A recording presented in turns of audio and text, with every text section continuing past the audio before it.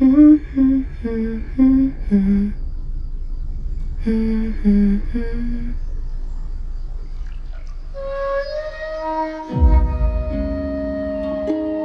Piano है। ये कहानी है हमारे पूरे परिवार की।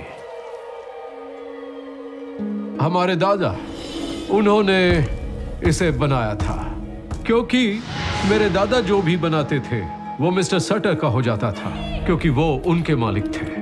बॉय चार्ल्स हर वक्त बस इसी पियानो के बारे में बातें किया करता था। जब तक ये सटर के पास था, हम उसके गुलाम थे।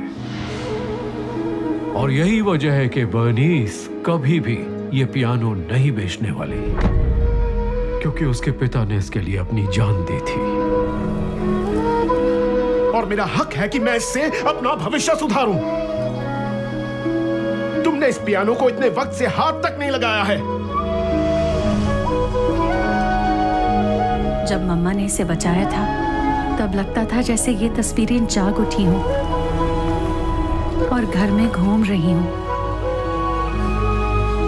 इसलिए मैं इसे नहीं बचाऊँगी क्योंकि मैं उन आत्माओं को अपने घर में नहीं आने दे सकती। महसूस हुआ?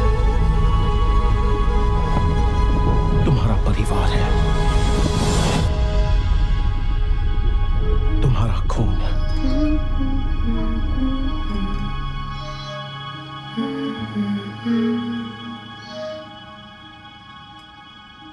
mm-hmm. mm-hmm. mm-hmm.